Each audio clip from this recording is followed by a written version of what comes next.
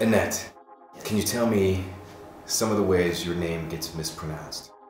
Echikunwoke is the most common.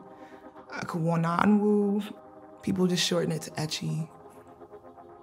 I don't know, I've just heard so many variations. It's like, wow, you didn't even look. I'm Nigerian, the name is Igbo, and it means leader of men. Echikunwoke means leader of men.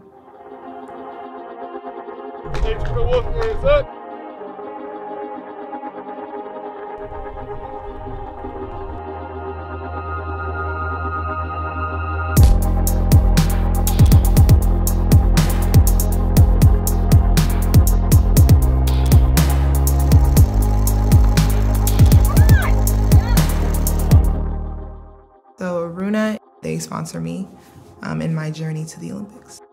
We employ and empower victims of human trafficking. Through their work, um, give them freedom by making really nice athleisure gear. Um, and now we do that for women here in the United States and then also in India. I think it's beautiful. The inspiration was like the sunset, and every time I look up, I thank God about this for this opportunity. And I know for a fact I will not be here without him. I wouldn't be doing this.